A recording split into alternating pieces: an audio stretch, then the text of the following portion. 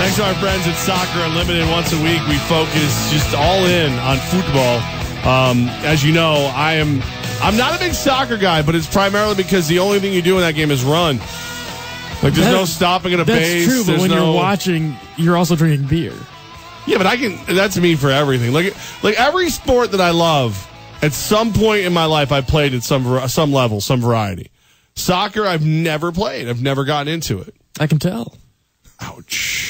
Double burn. Just burn after burn. Off air, on air. We got to get a drop that just says Woods burn. He's Hashtag all Woods fired burn. up because he got a special deal on that uh, jersey he's wearing. You did. Because it's the size of the kid who knitted it. Oh, no.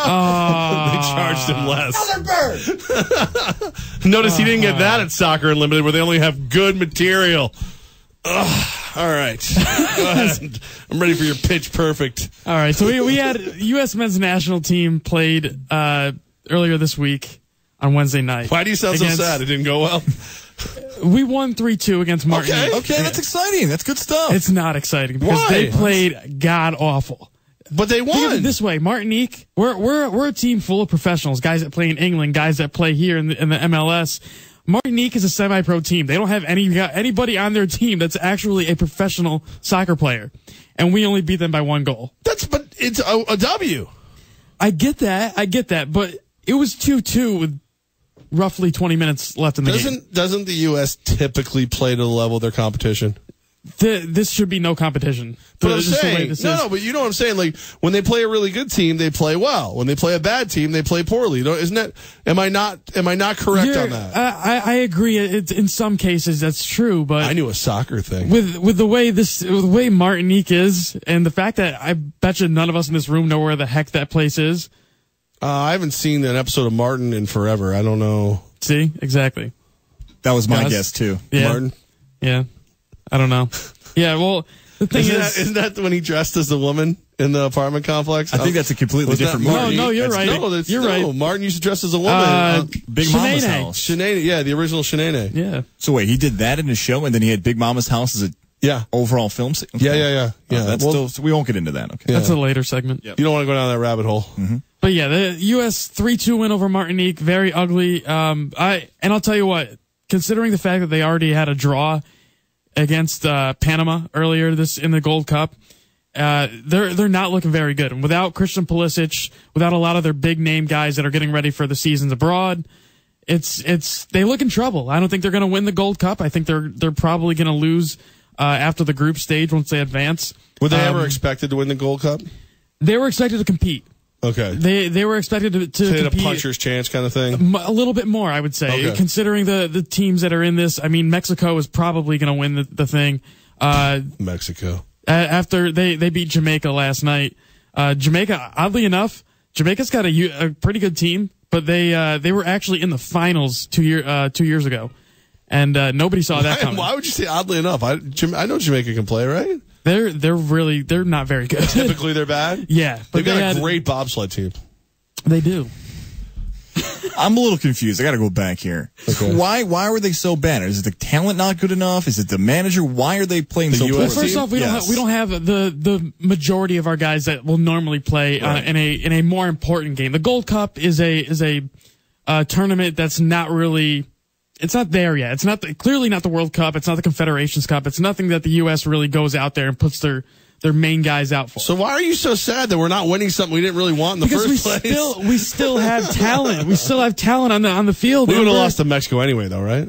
My guess is yeah. Me- Mexico Mexico's playing a lot of a lot of guys that um you would probably see play over in England, over in the in Europe. This is pitch Um, perfect, by the way. We're talking a little soccer with producer Woods right here on 104.5 The Team. But yeah, yeah, the U.S. men's national team they they looked god awful, and it, it wouldn't surprise me if they once they they get past the group stage, which they have one more game coming up this weekend. If they get past this group stage, I, I wouldn't be surprised if they get bounced right away. Yeah, because the balls, the soccer ball bounces. You know what I'm saying? Pun intended. I like it. I like it. I like it. Outside of that, not much really going on. A lot of transfers going on in soccer. Uh, guys, what's I have a story for you. I don't mean to interrupt because I think there Goz is- is so excited. You guys couldn't Wow. see it. So Goz has a soccer story he's been holding on to all day, hoping that producer Woods did not have it. and I don't think it did. this upcoming weekend, ESPN is broadcasting a game. Which, if you're a casual soccer fan like me, I would guess that this is a pretty big deal. The All Star game. I don't know. Is this an All Star game? Is this what this is? Saturday night in prime time on ESPN, they're having the LA Galaxy play Manchester United in a friendly. We're talking about an MLS Yeah. team again. What does this mean? It's it's this isn't quite the all the All Star game is coming up soon. Uh, that'll be Real Madrid versus the MLS All Stars. That one is is a fun one. So wait, one watch. club is going to play all the best players from everywhere else. Uh, well, one club in Europe will play all the best players from the MLS. Okay, so That's how the All Star game works. so we're so bad that we have to get out. We have to, we have to we have to cherry pick our best players from every squad just to go up against Real Madrid. uh, yeah. don't- USA. We're gonna we're gonna have some. I think I think this I think this is gonna be a fun one. Plus, Cristiano Ronaldo is gonna be in the U.S. Um, and later down the road, they will take on Barcelona uh, down in, Orlando. So that'll be a fun one. Barca, Messi versus Ronaldo in the U.S. It's never never happened before, so that'll be fun. But the game you were mentioning, yeah, it's uh, Manchester United's coming over for a friendly. They they got a U.S. tour that they normally do. Um, they, I, I don't believe they did one last year. I think they did one the year before. But yeah, they're going to play the LA Galaxy, who uh, uh, they're they're a good team this year. I don't know, quite know if they're the top level that they're normally used to competing at. Uh, I think there's a few teams that are better than them right now. Toronto may be the best team in my mind uh, when they're fully healthy. But yeah, it's going to be an interesting one to watch. Uh, friendlies don't really mean nothing. It's just guys getting time in there and uh, getting more exposure for the game. It's a scrimmage. So this would not be an historic upset because we just laid out there that it takes an entire MLS and a league. Well, it, it would be an upset. Uh, honestly, it'll probably end up being a, a two, a three one, two nothing win for Man United, considering the the talent of players they have on their roster. And my guess is it looks like they may have two of their new acquisitions on the uh, the squad for that game. So, uh, yeah, it'll be an interesting one to watch. I don't think there's going to be a lot of you know a lot of talk about it afterwards, Right. Because it, it, it's expected to be a, a blowout in some sense. Yeah, and that's what's kind of throwing me off here is, and this is why I brought it up because when I hear friendly, that's an exhibition in other terms. It's basically a game that doesn't Yeah. count for anything. Mm-hmm. Or it's a great place to get fribbles. Or that's also true. But when you have this and you're ESPN and you think, okay, I got an idea. I'm going to put this exhibition game in prime time. And we've seen it the past week where they put summer league basketball in prime time and people get it who are NBA fans. But if you're trying to make soccer more relatable, I guess I would say, or more on a stage, and you put a friendly on TV, you would want, I would guess, I mean, you can stop me when I'm wrong, the Galaxy to win because then all of a sudden, whoa, LA Galaxy pulled off this huge upset on ESPN.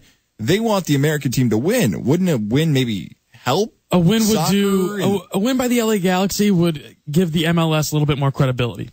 Uh, they struggle with getting guys uh, top level talent over right now. It looks as though they're about to sign one of the best strikers in England, uh, who actually played for Manchester United last season before getting hurt.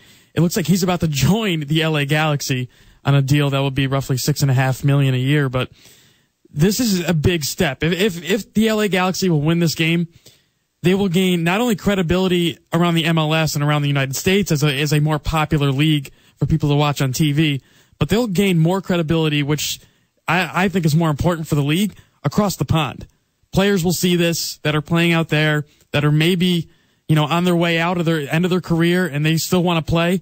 They will see more attraction fr- from the MLS should the LA Galaxy be able to pull this off. I know this next question is going to almost undercut what I just asked, but do the guys from Manchester United care about this game?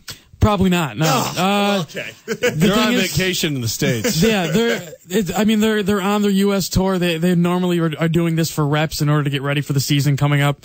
Uh, it starts, I believe, it's it's about a month away uh, for the start of the uh, Premier League season. So they're they're getting ready. Uh, lots of clubs in, in the Premier League are starting already their preseason matches.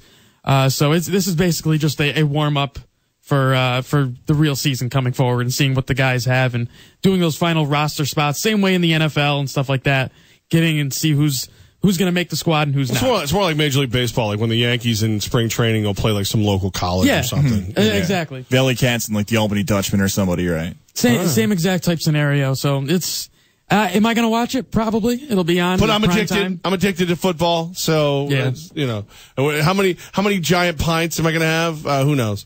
Uh, Producer Woods, Pitch Perfect. Tell us more about this Soccer Unlimited place, huh? Yeah, great place. Go get your uh, your jerseys. The new new jerseys are coming out. Your Um, boots. But yeah, You got to get your boots. I like the accent. I don't know where it came from. Uh, Is it like Scottish? It's Scottish. Well, everything's Scottish. It's not Scottish. It's crap. Buy your jerseys from Soccer Unlimited. Unlike Yeah, how don't we, don't be like Woods. look, we, the mass text is out there. When, did you did we have our order go through yet? By the way.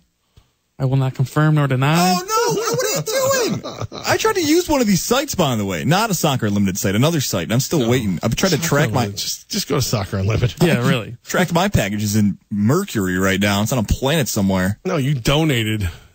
You just I donated. hope not, man. I really like that jersey I was going to get. Probably covered in mer- mercury, if anything. I'm not using those sites anymore. Soccer Limited's the place to go. Yes, it is.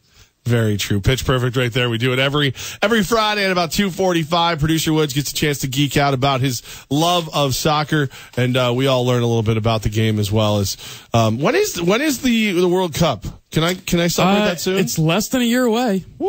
I believe. More It we will. Uh, More than we will. are. I I think we're 330 days away. No, but who's counting? Three hundred thirty exactly. days, two hours, fifteen minutes. I don't believe you. Um, all right, so it, it was um, it was made clear this morning the Knicks have officially uh, got themselves a GM. Scott Perry is going to be the guy, looking like a second round pick, going to be given to the uh, to the the Kings in order to get Scott. I saw you got very upset about the, uh, giving up a pick to get him. I got, yeah, I got some God, issues sorry. about this. Do you want to talk about this more next? No, I'm talking about it right now. We got we got time. The pitch perfect went short. What's the deal with this? Why, why do they want to bring in this guy from the Kings? He wasn't running the show with the Kings anyways. It was Vlade Divac. They bring in somebody. he was. Okay. Vlade's making the decisions, even though this guy might have thought So, he was do gonna. you want do you want the guy who's acing the test or the guy he's copying off of? Because I think we got the guy that Vlade Divac's been copying off. and he's of. getting a C minus on the test, by the way. like he's the Sacramento King running the organization over there. If He's the only whole, been there for a little bit though. fine, they're not good. Go get someone who's well, no, from a he's team who's been there, good. but they hired. I, th- I, I His thought new job, he just started. Just started in Because he was with Orlando. him. He's been all over. He was in Detroit back when Melo was drafted. He's been around the league. Right now, we sound like we're 0 for 3. We went for the Magic Pistons. no, but the Pistons, the Pistons were kind of good. That was, Of those three, yes, Yeah. you're right. They're better than that. I guess I'm asking for too much. Like your standard was anybody but Isiah Thomas, Yep. which they succeeded with. and last I checked, it's not Isiah Thomas. That's a win. My thought is that okay, you're going to keep Steve Mills around, and credit to Steve you don't have Mills. a choice.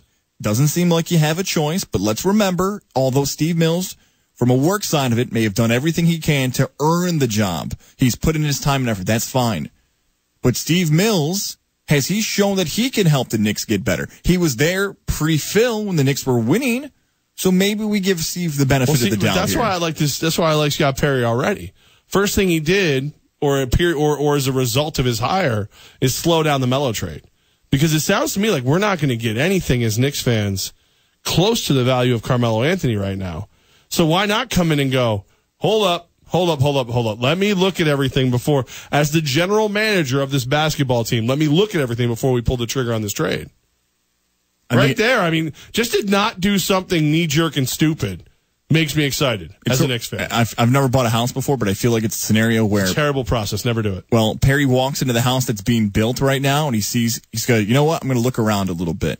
Yeah. Okay, burn it No. to the ground. Like, he's going to look at the house before he burns it, if Don't put it, possible. no skylight in the bathroom floor. No, Right. that's a bad idea. That's what he's doing right now. He's looking around the house, deciding whether or not he's going to move in, burn it to the Well, ground, he's build in. a new one. He's moving in. Well, you better figure out what he wants in that house right But now. I mean, let- let's be honest. I think the only way you get real value for Carmelo Anthony right now is if you let him play for a little bit, make him look good. Well, Carmelo, it seems as though Carmelo's frustrated because the, the New York Daily News is coming out now saying Carmelo is uh, is very disgruntled as far as the Knicks putting the trade for the Rockets on hold. All right, hold on. Our reply to a disgruntled Carmelo Anthony next.